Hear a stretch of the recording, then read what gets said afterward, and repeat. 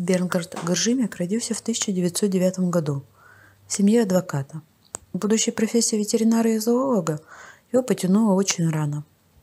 Уже в детстве он пытался лечить кошек и собак, пас коз, разводил кур. В годы инфляции многодетная семья разорилась, и чтобы заработать себе на учебу и помочь матери, юноша устроился на птицеферму. Тогда же вышла его первая книга, которая была названа «Яичная книга», вскоре ставшая фактически хрестоматией по разведению и уходу за курами. В 1933 году он получил диплом доктора ветеринарной медицины. В 1945 году Бернгард оказался в зоопарке Франкфурта. Зоопарк сильно пострадал в годы войны. Выжили только 20 животных. И было принято решение о его закрытии. Но ученый убедил правительство начать воссоздание зоопарка. 1 мая 1945 года он стал его директором, а уже через два месяца зоосад открылся. Ученый организовал реконструкцию территории и привез новых животных со всей страны. Франкфуртский зоопарк под руководством профессора стал одним из лучших зоопарков мира. Работа в нем ведется и по сей день на научной основе – благодаря чему в нем удается содержать и разводить редкие виды животных. Именно здесь впервые удалось получить в неволе потомство от четырех видов человекообразных обезьян, и даже был оборудован специальный детский сад для выращивания брошенных самками детенышей.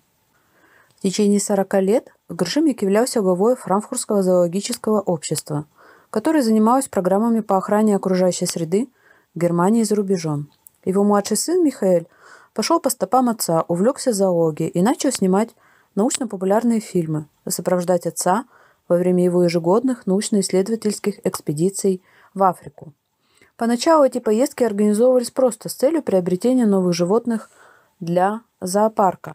Бернгард Гржимик так описывал начало своих поездок в Африку. В то время мы еще не задавались целью чем-то помочь, что-либо изменить или спасти.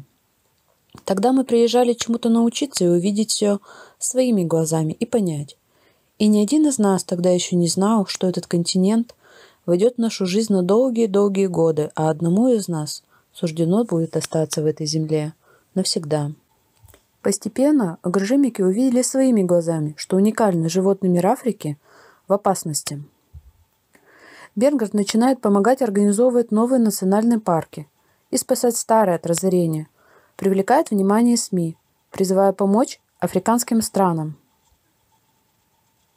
Благодаря его и его сыну Михаэлю был сохранен один из известнейших национальных парков планеты – Серенгети. Грымики несколько лет занимались исследованием этого района саван, показали бедственное состояние африканской природы из-за бесконтрольной охоты на животных. В 1958 году вышла их книга «Серенгети не должен умереть», ставшая бестселлером, и одноименный фильм. Первая документальная картина Германии, удостоенная Оскар. «Серенгети не может умереть» был снят по мотивам книги, которая стала классическим образцом научно-популярного произведения о природе. Фильм получил Оскар в категории «Лучший документальный полнометражный фильм» и стал первой немецкой картиной, удостоенной этой премии. Картина и книга послужили одной из причин расширения охраняемой области Бессменным переводчиком почти всех книг зоолога с немецкого на русский была Евгения Александровна Гаевская, журналист и редактор, много лет дружившая с Горжимиком. Научным консультантом большинства русских переводов был также близкий друг, профессор Андрей Григорьевич Банников. Благодаря этим людям книги Горжимика регулярно выходили на русском языке в Советском Союзе. Горжимик был главным редактором и автором многих статей – монументальной энциклопедии фауны в 13 томах, опубликованной в 1967-1975 годах и ставшей классической. Эта энциклопедия пришла на смену жизни животных, классическому труду Брема, которым пользовались и по которому учились многие поколения. Однако за сто лет этот труд сильно устарел. Огромное количество новой информации, накопленной наукой за последнее столетие, было сложно обобщить и осмыслить. Гршимик взялся за это и справился с задачей. Материал энциклопедии был изложен в достаточно популярной и общедоступной форме.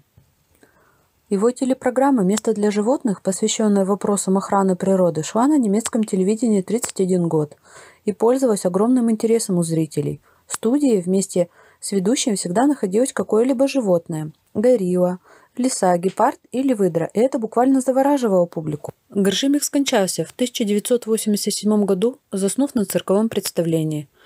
По его завещанию он был похоронен рядом с могилой своего сына на краю кратера в Серенгете, который отец и сын изучали долгие годы. Так он писал о Серенгете в своей книге. «Вечной на Земле останется только природа, если мы ее бездумно не разрушим. Через 50 лет вряд ли кого-нибудь будут интересовать конференции, репортажи, о которых сегодня заполняют страницы всех газет. А вот если даже через 50 лет на утренней заре из кустов величественно выйдет лев и огласит окрестности своим могучим рыком – у любого человека захватит дух и сильнее забьется сердце. И совершенно неважно, будет ли этот человек говорить по-английски или по-русски, на суахили или по-немецки.